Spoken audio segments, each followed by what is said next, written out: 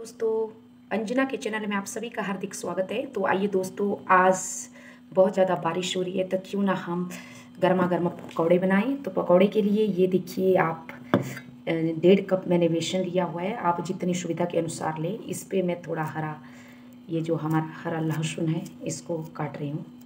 और ये प्याज मैंने काटा है, इसको धो लिया है।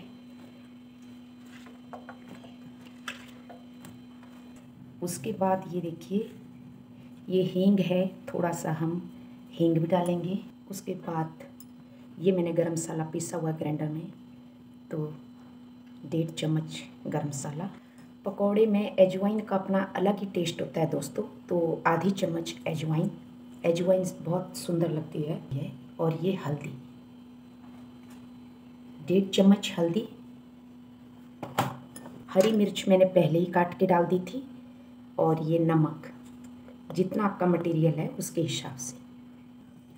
ये देखिए दोस्तों, हमारा ये पेस्ट मिल चुका है, इतना सा हमारा पेस्ट है, और अब हम इसको बनाएँगे।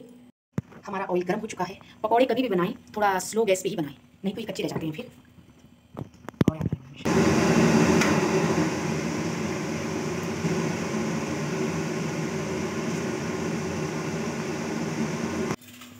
ये देखिए दोस्तों हमारे पकौड़े बनकर तैयार हैं रेनी सीज़न में और ये मैंने टमाटर सॉस डाल दिया है।